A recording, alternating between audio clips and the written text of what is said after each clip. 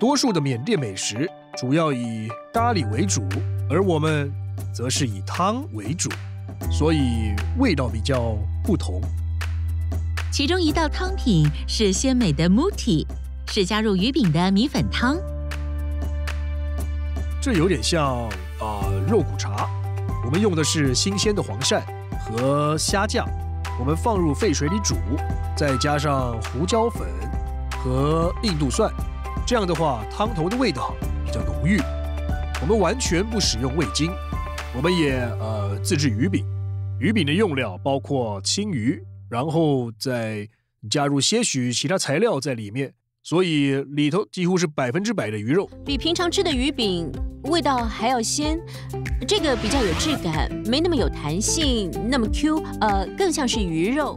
汤头的味道真的很像肉骨茶和鱼丸面汤的综合体，因为嘴里会有胡椒粉的味道，但是它又芳香无比。食材丰富的另一道菜是丹参汉鸡汤。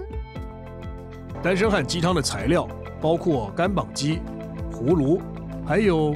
一种茄子，我们加入调味料之后翻炒一下。我们也用类似薄荷的香草，但那种香草只可以在一万米的高峰上生长。我们用这些食材制作出这道独特的汤。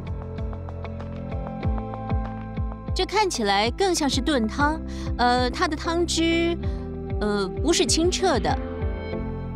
鸡肉很轻易的从骨头上剥落，里头有另外两个主要的食材，一个是葫芦，真的很甘甜，它增添了汤的美味。另外一个主要的食材是茄子，他们使用的是小茄子，吃起来有一点酸，嗯，我想这就是汤有点酸劲的原因。茄子也比其他的材料更有口感。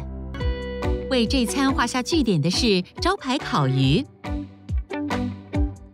我们使用鲈鱼混合虾酱、蒜头、小辣椒、胡椒粉和一点盐制作酱料。我们用这个酱料腌制鱼肉几个小时。我们当然得从缅甸进口一些食材，像虾酱、茄子，还有一种薄荷叶叫阿布叶。这三种主要的材料我们都要从缅甸进口。